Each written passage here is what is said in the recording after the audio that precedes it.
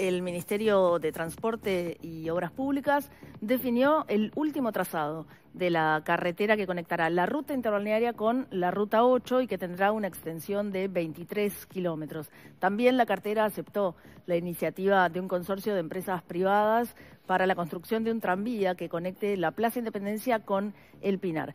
¿Cómo están evaluando estos proyectos desde la Intendencia de Canelones? Lo vamos a conversar eh, con el intendente en funciones, Marcelo Metediera, que además es prosecretario de la Intendencia de Canelones. Buenos días, gracias por estar acá. Buen día, ¿cómo están? Muchas gracias por la invitación. Bienvenido. Gracias. Bueno, hoy se van a reunir con las autoridades del Ministerio de Transporte. Eh, ¿Son estos dos los temas que van a analizar? Sí, ahora a las 10 de la mañana tenemos reunión con el ministro de Transporte y seguramente con el con el responsable de vialidad, con el director de vialidad. La idea es intercambiar, nos van a presentar una, un planteo, ya tuvimos una reunión con el intendente Orsi, con el ministro, con el director nacional de transporte, sobre la propuesta de la, de la vía rápida, de la autopista. No tenían claridad todavía en, en el inicio del trazado, que seguramente va a ser, habían dos opciones ahí sobre cerca del autódromo para dar una referencia de zona. La otra zona posible era cerca de Márquez Castro. Ahí estaban haciendo algunos estudios que, bueno, hoy supuestamente nos van a hacer la, devolución de, esos estudios. Está bueno visualizar que podamos tener a diferencia de lo que fue el tren de la costa, que nos sentemos a conversarlo previamente. Eso me parece que es una buena, una buena señal. Y ahí, bueno, algunas inquietudes o algunas particularidades. ¿no? Dividir el tema en tres, en tres partes. Uno, lo que hace a la seguridad vial en sí, de la construcción de la vía rápida. El otro es que vaya de la mano del ordenamiento territorial que tiene Canelones, ¿no? Cómo están planificados los territorios, el crecimiento, la marcha urbana, las zonas logísticas. Y después la otra preocupación mayor es la preocupación ambiental. Este, el trazado va a tener recorridos eh, por los bañados de la cuenca del arroyo Pando y la laguna del Cisne, y eso puede llegar a tener algunas dificultades. Vamos a ver cómo tenemos la, devolución de, ese proyecto y analizarlo en esos tres esquemas.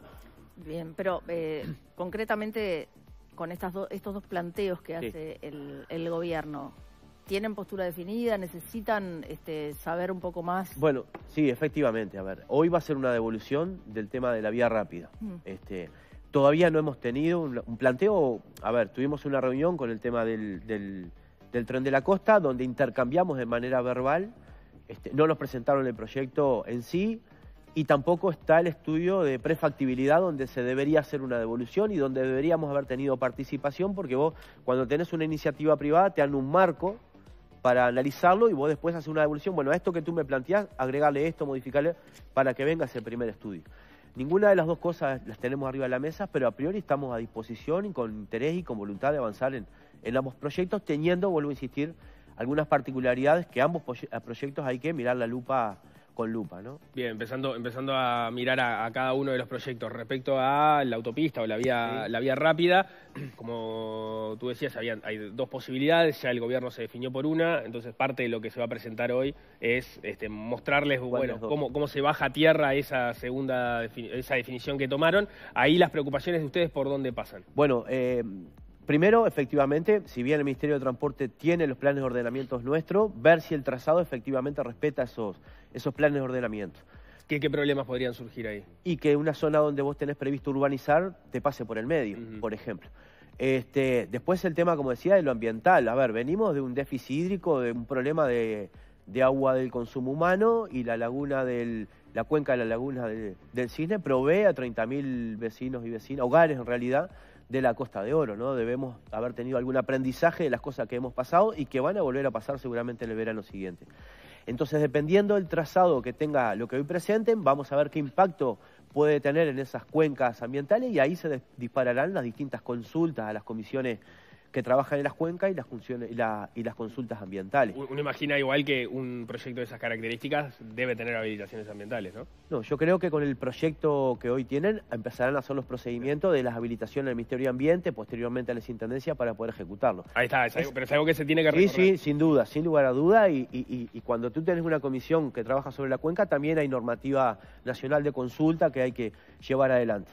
Después, para nosotros, desde el punto de vista de la seguridad vial, imagínense que si bien estuve haciendo algunos números en distancias, en velocidades, en tiempos, Quizás en distancias aumenta eh, la vía rápida la cantidad de kilómetros, en 14 kilómetros de recorrido, pero eh, mantiene los tiempos de, viaje. Ahora, tener una alternativa de recorrido para vos descomprimir la interbalnearia para nosotros es importante. Tenés un montón de cruces de zonas de norte a sur, sur norte, centros comerciales, ruta.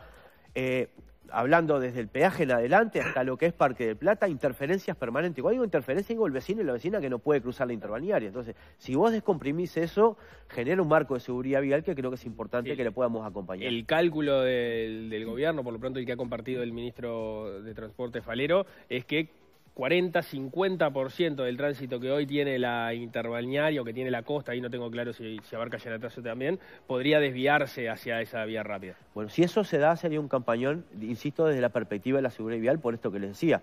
Permanentemente se han tenido que modificar en la infraestructura. Bueno, interbalnearia es jurisdicción nacional, si bien interactuamos, pero se han puesto en semáforo, bueno, esto de los radares últimamente también, eso implica que hay una conexión en la zona del autódromo del Pinar, en la zona de Colina de Solimar y como le decía, del peaje hacia afuera, que esto, si, a ver, si sacás la mitad de los vehículos, mejorás en calidad para seguridad para la gente, ¿no? Me quedé pensando lo que dijiste de estas eh, zonas que se pretende urbanizar, quizás que quizás se toquen con este, la, vía rápida. ¿Es posible, si esta vía rápida, si el, si el plan que les presentan eh, a, sus, a sus ojos bueno, modificar ese plan? Es, posible, ni que hablar. Que yo creo que, se pretende urbanizar se corra un sí, yo creo que la, dificultad puede ser más, más, ambiental por las cuencas que lo, que lo urbano. De todas formas, insisto, el Ministerio tiene los proyectos nuestros, trabajó con esa base para evitar esto y lo que hizo fue, también me consta, este, usar los límites de los padrones a los efectos que a las personas les perjudique lo menos posible. Una cosa es partir un, predio al medio, otra cosa en un límite. Esos recaudos los tuvieron. Nosotros ahora lo que vamos a hacer es chequear blanco sobre negro lo que van a presentar con la normativa, pero si se puede acompañar no hay ninguna dificultad. Esto capa un poquito a lo de transporte, pero bueno, en este momento sos intendente en funciones, si no me equivoco, y prosecretario de, la intendencia y eventualmente este, podría llegar a ser candidato a intendente de Canelones, o sea, nada de lo de Canelones estés ajeno, te podemos pasear por algún otro tema. Eh, a, propósito de... Más o menos, porque estamos en un proceso de transición justamente por eso, ¿no? No, pensando en estas este, zonas que se podrían urbanizar, ¿de qué, de qué estamos hablando? Y qué tipos de proyectos, porque hay toda una discusión en Canelones respecto, por ejemplo, a los, a los barrios eh, privados, digamos, cómo, cómo es la mirada sobre esa, sobre esa parte de Canelones. Bueno, Canelones tiene en general este, proyectos de ordenamiento territorial, de hecho el primer plan de ordenamiento territorial del país fue en Ciudad de la Costa y a partir de allí se toma como insumo este, para generar la ley de ordenamiento nacional. Canelones tiene bien referenciado cuáles son los lugares productivos, los lugares logísticos, los lugares turísticos, los lugares que se puede urbanizar, los lugares de los, de la, de los clubes de campo o, los barrios privados. También es el único... Canelones tiene un, plan de ordenamiento del, uso del suelo rural que no lo tiene Sudamérica, donde determina dónde se puede plantar, qué tipo de plantación y qué no. O sea, en ese sentido se está, se está ordenado. Después, cada lugar, cada zona tiene determinada su lugar de dependiendo de las características del lugar, la prohibición o la aceptación de que la mancha urbana se siga desplazando. Bien, pero estos proyectos urbanos son de barrio... Eh, no, no, o sea, este proyecto de la vía, no, no, no, está ah. por zona rural en general, pero bueno, en realidad en la zona particularmente del autódromo del Pinar y en la zona de Colinas de Solimar es donde está más cerca de la urbanización. Después el resto es zona rural, en eso no hay dificultad. Eh, bueno, el otro gran proyecto para el transporte metropolitano es justamente el, tranvía, y el tram-tram, se le dice desde, el Ministerio de Transporte. Ahí eh, la discusión ha sido distinta, vos mismo lo señalabas, que el proceso de intercambio con el Ejecutivo ha sido distinto. ¿En qué, en qué punto está eso? Bueno, ahí venimos, a ver, insisto, estamos a la espera todavía de, la, de esa primera devolución formal. A ver, tenemos conocimiento por el intercambio verbal, verbal, siempre en el ámbito del transporte las cosas las vas conociendo, sabiendo, pero no tenemos algo concreto. Yo, por ejemplo, nosotros estábamos trabajando una encuesta eh, origen-destino porque estamos proyectando, sin saberlo del tren, una intervención sobre Yanatacio para el año que viene. Eso tiene dos pastas, un, programa de movilidad sostenible, bases para la movilidad sostenible, que lo estamos haciendo junto con el gobierno de Canarias, este, donde incorporamos ahí una encuesta que incorpora la consulta sobre el tren. Y ahí se dan un montón de, situaciones que creo que está bueno saberlo, que la mitad de la gente que, fue encuestada utiliza eh, el ómnibus, solo un 26% de la gente tiene auto, pero está dispuesta a, irse a, no quiero con todas las gráficas esto, eh, eh, pero sí la globalidad o, el diagnóstico, la gente está dispuesta a que si hay un buen servicio de transporte, dejar el auto e irse al ómnibus. Creo que hay un 11% que dice que no en cualquier situación sigue con el auto. También surge de las encuestas que las personas están dispuestas, sin pagar más precio del boleto, a hacer por lo menos una combinación para llegar desde el tren central, porque después vas a tener que combinar con transporte departamental para llegar a tu destino. Y ahí es importantísimo haber incorporado el STM, porque si no, no era posible pensar en una situación, en una solución de esta característica. Si vos tenías un tren que iba por el corredor de Llenantacio, pero no dialogaba como sistema con las combinaciones, no iba a tener sentido. Entonces, en este proyecto de factibilidad a mí se me generan muchas interrogantes. Eh, sabemos que los trenes están planteados con 170 plazas, 170 personas para transportar. Hablamos de, eh, nosotros tenemos la información por el STM y por consulta, de que eh, hay en horas pico sobre Giannatasio 2.200 personas que viajan. Entonces, si vos haces la relación cantidad de personas por cantidad de asientos por coche, vas a precisar 12 trenes para tener una frecuencia a 5 minutos. Entonces, y hoy la frecuencia del ómnibus a esa zona anda en 3 y 4 minutos en horas pico.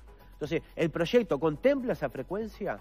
Porque si la frecuencia es mayor, como creemos que va a ser, casi a 15 minutos, bueno, ahí hay una dificultad y podría llegar hasta ser inviable o pensar distinto. Perdón, me, perdí en la explicación. ¿Cuál sería la dificultad entonces? Si los números están hechos para tener un tren cada 15 minutos no es suficiente para llevar la gente, porque precisás por lo menos este, un tren cada 5 minutos para bancar la situación que hoy tenés.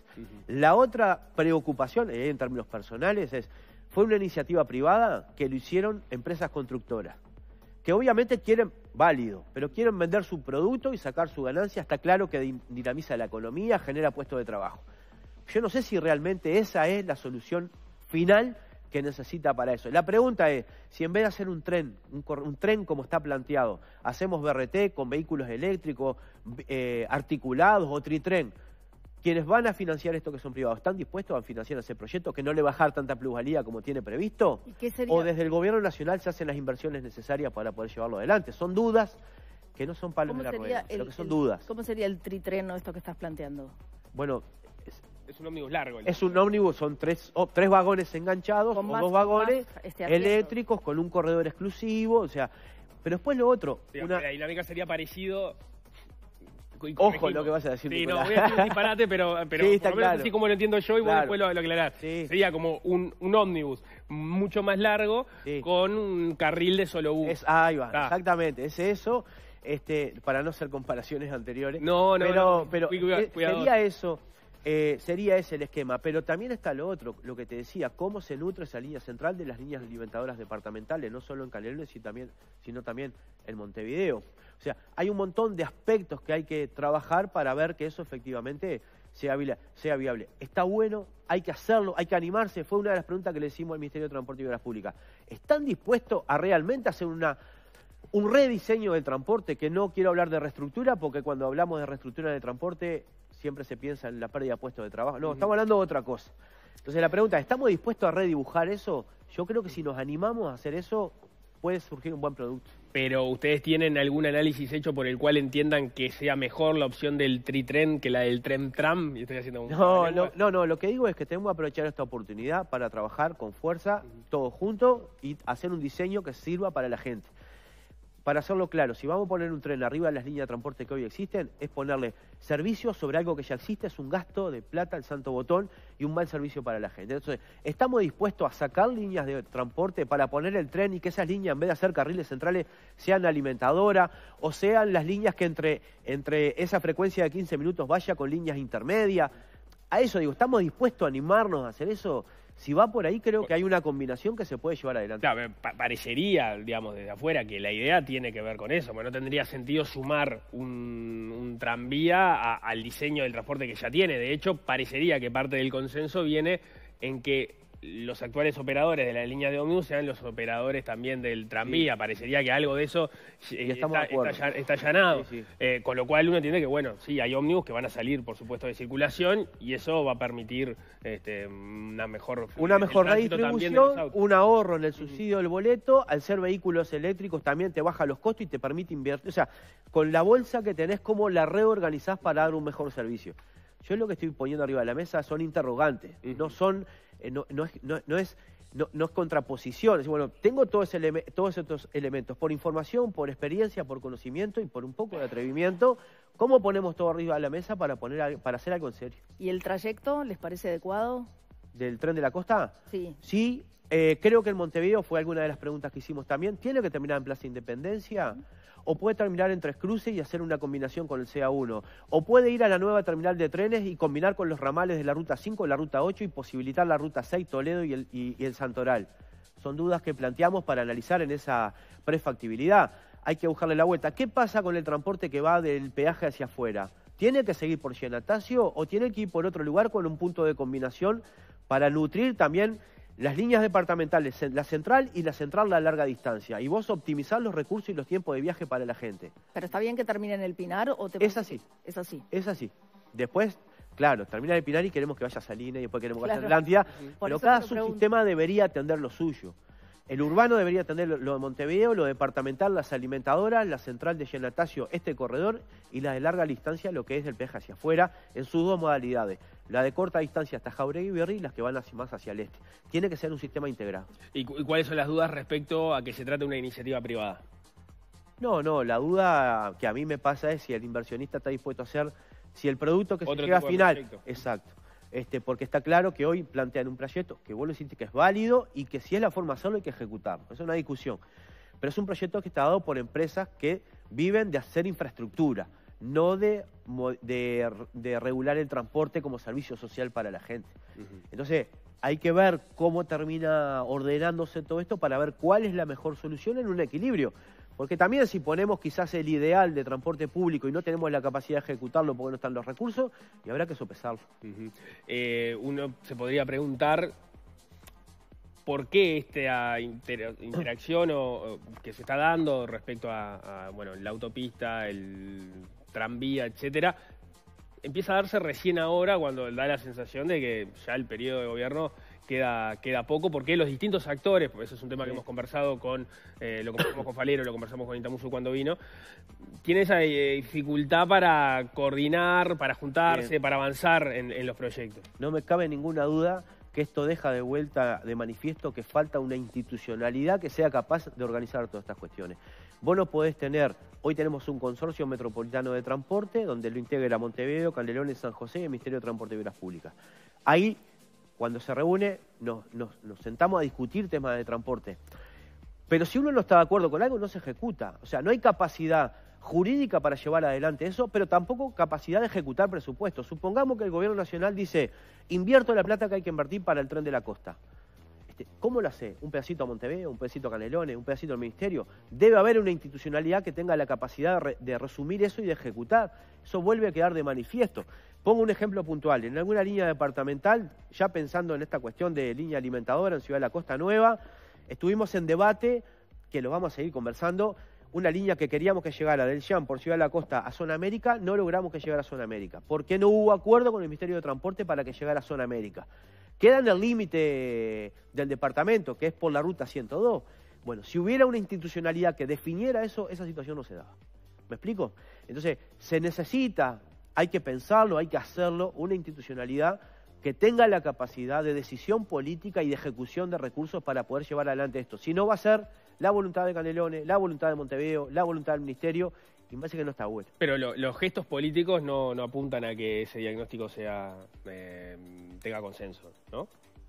Eh, en relación, y ahí capaz que sí dejo un poco afuera Canelones porque podría terminar siendo, siendo injusto, pero eh, el tema este, de la ciclovía en 18 de julio y el tema del tranvía fueron dos temas donde se vio claramente que primero se tiran las ideas, después se invita a conversar. pero te lo llevo a Canelones. Nosotros, como te decía, veníamos pensando ya en Natasio sin saber lo del tren. Yo no me paralicé de trabajar por Jean Natasio, porque no puedo esperar el 2028-2030 a ejecutar el tren de la costa para darle solución de mejor movilidad a la gente. ¿Pero lo hablaron con el Ministerio? Sí, claro. Sí, claro. pero aparte, por, pero aparte por, la, por la lógica de la infraestructura que nosotros entendemos para Ciudad de la Costa no varía demasiado. Si el tren va en un carril que es BRT para el ómnibus o para el tren, no nos cambia mucho. Pero así como te decía, y es mi opinión, eh, porque no quiero involucrar a Montevideo, pero si seguramente Montevideo pensó una ciclovía por 18 de julio, que si mañana viene la, alternativa del tren, se modifica porque hablamos de ingeniería de tránsito muy básica, cordonetas, tachas, que se puede cambiar fácilmente. Y yo pregunto, ¿y si capaz que lo que cambia es el tren, que de repente sale por Paysandú y entra por Uruguay? ¿Por qué no? Eh, o sea, me parece que no hay una falsa, hay una falsa contraposición, me parece, en eso. Una cosa no impide la otra. Lo que vos como tomador de decisiones políticas no podés dejar ni posponer las cosas que tenés que hacer producto de proyectos que van a largo plazo.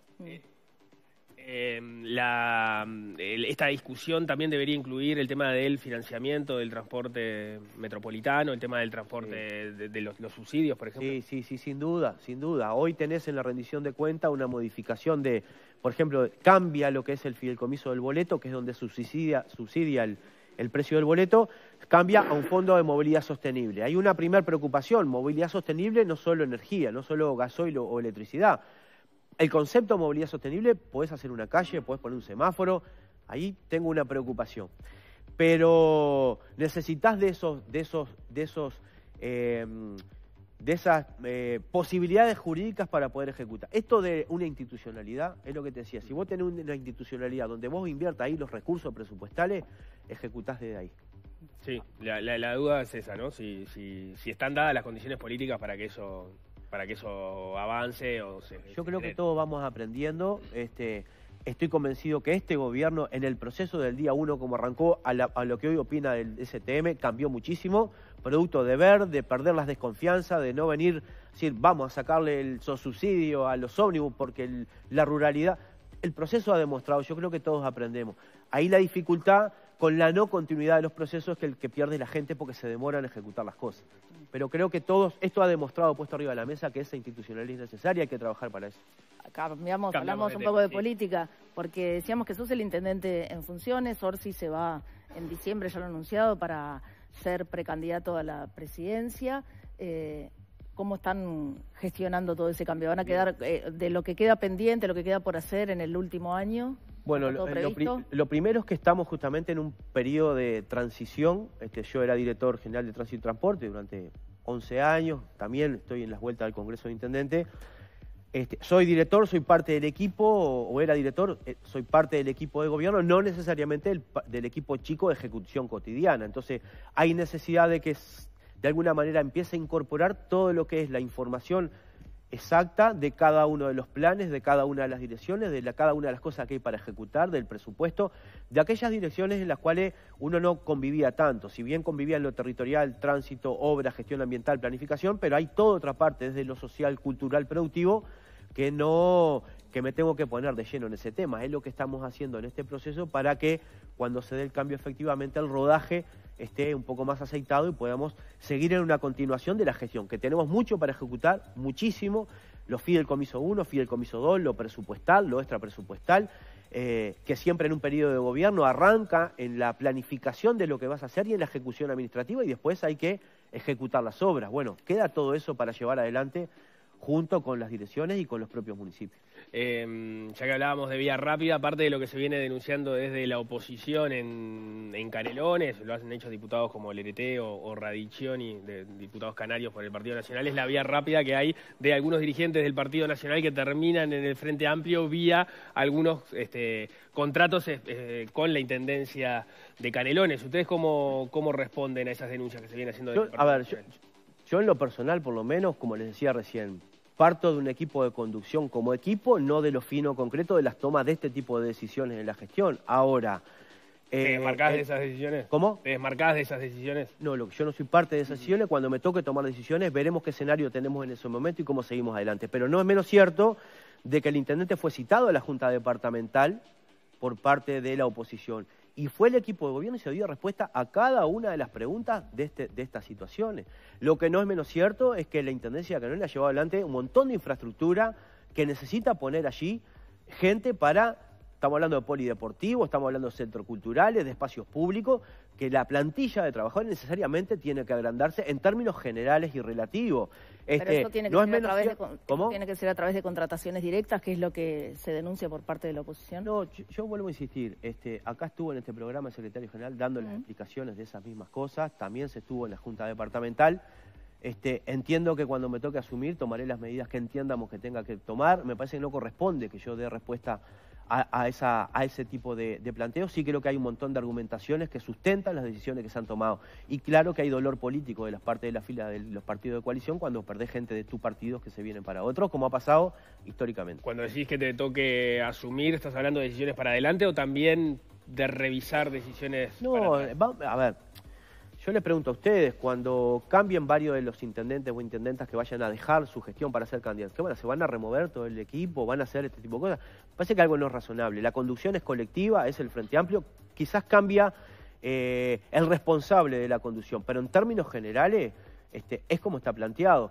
Hay que analizar alguna cuestión puntual, hay que ver qué escenario tenemos llegado a ese momento, pero no, pero sin, sin, sin misterio. hace, hace algunos meses el, el diputado colorado Adrián Peña eh, presentó, el senador, perdón, senador Colorado Adrián Peña presentó un proyecto de ley a través del cual todos los ingresos a las intendencias de todo el país deberían ser por concurso. Eso finalmente la rendición de cuentas no fue, no fue aprobado. ¿Cuál es tu postura en ese sentido? 100% de acuerdo, tiene que ser por concurso. El Frente Amplio llevó adelante el ingreso a las intendencias por concurso de manera masiva. Cuando tuvimos que trabajar los jornales solidarios, el primer programa habían intendencias que ya tenían los listados con nombre y apellido de las personas que iban a entrar a Jornal de Solidaridad y logramos allí plantear que fuera por sorteo. Comparto 100% y creo que en la rendición de cuentas no salió por el propio Partido Nacional porque el Frente Amplio y el Partido Colorado estaban de acuerdo en que eso fuera así. 100% de acuerdo. presentó un aditivo, el, Frente Amplio presentó un aditivo que finalmente no, se votó. Sí, porque da tranquilidad, da transparencia, da garantía en los, procesos para los trabajadores. Y depende, vos mirás Intendencia donde los ingresos son 100% directos, no es el caso de Canelones que tiene un 13% de la, de la, plantilla total, otros tienen menos, pero hay muchos ¿En dónde hay 100% de ingresos directos? Eh, Cerro Largo, si me dan dos segundos porque lo, tenía a mano, pero de los, denme un segundito, disculpen la, la desprolijidad, pero según la oficina civil tenés Cerro Largo con el 100%, Durazno el 88%, La Valleja el 97%, Río Negro 100%, Canelones 13%, San José 8%, Montevideo 8%, Maldonado 2%.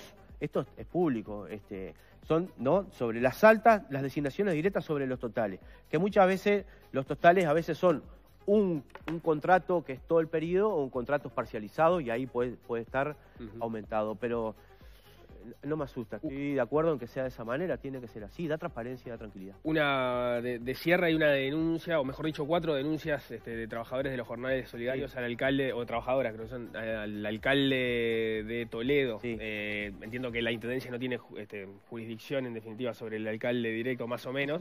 Eh, ¿Cómo están mirando la situación desde la intendencia, desde el Partido Comunista? Porque además es el mismo sector. Con preocupación política, porque es un ataque permanente hacia el Partido Comunista y hacia la gestión frente amplista en Canelones, por, por obvias razones. Eh, con este tema puntual, el concejal que denunció el tema hace mucho tiempo no participa del municipio. Me preocupa que no haga los planteos por los carriles institucionales que tiene. Uno es el Ministerio de Trabajo, por ser trabajadores que dependen de un programa del Gobierno Nacional, pero el otro es la propia Intendencia. Entonces tú como concejal, primero, tendrás que opinar, si bien la potestad la tiene el alcalde con los, con los capataces, de distribuir el trabajo en la, de las cuadrillas, como concejal tenés el derecho y la posibilidad de ir al municipio y decir, mira, me parece que la cuadrilla debería destinarla a esta tarea, a esta o a la otra. En el caso de Canelones se determinó un marco de qué tareas pueden hacer. Y hablamos de recolección, de, poda, de, trabajos mínimos. Podés cortar pasto con bordeadora y no con un tractor. Ese tipo de cosas mínimas como para dar una mano a una situación que era una respuesta a una falta de trabajo dentro, en un marco de pandemia y que hoy lamentablemente Digo lamentablemente por tipo de política de empleo se sostuvo en el tiempo. Para la gente que lo necesita es bienvenido. En ese escenario eh, definieron al Ministerio de Trabajo. ¿Qué corresponde hacer? Que el Ministerio de Trabajo le traslada a la Intendencia cuáles son las situaciones que están planteadas, si es que hay alguna situación planteada, según lo que nos plantean del plan de trabajo, no se escapa de lo que está resuelto, pero si hubiera alguna situación, ahí se actúa. Como no esperamos esa situación, yo, en este momento, como intendente, este, di la orden en la administración y en, la Dirección de Recursos Humanos que se presentaran en el municipio con los equipos técnicos para que vayan avanzando, ver cuál es la situación que está planteada ahí, porque en realidad no lo consta que ese sea. Y si hay alguna situación de irregularidad, como dije otra vez que estuve acá hablando de un tema, se toman las medidas que se tenga que tomar y así ejecutan. Marcelo Metediera, intendente en funciones de Canelones, muchas gracias. Gracias a ustedes. Muchas gracias. Hacemos